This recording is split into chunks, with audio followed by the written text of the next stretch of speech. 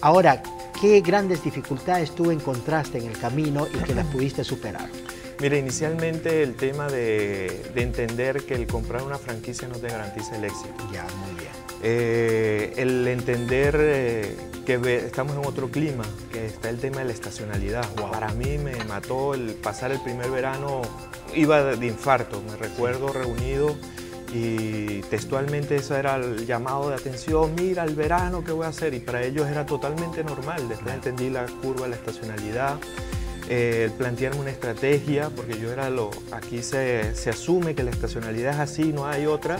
Para mí yo considero que hay, debe haber una manera de, aunque haya una estacionalidad, de que ese negocio sea rentable, se ah, mantenga durante todo el año. Y creo que todos apuntan a eso. Si antes vendíamos churros, si es comida con chocolate caliente, ahora en verano venderíamos helado. En la lavandería debe pasar algo igual.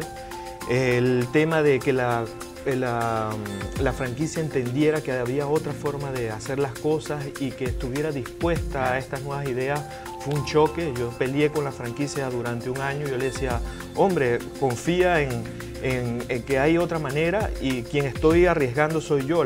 mientras la marca, la imagen de la marca no se comprometa, pues tienes un consultor gratis que aparte te está demostrando con una prueba piloto que bueno pueda pasar.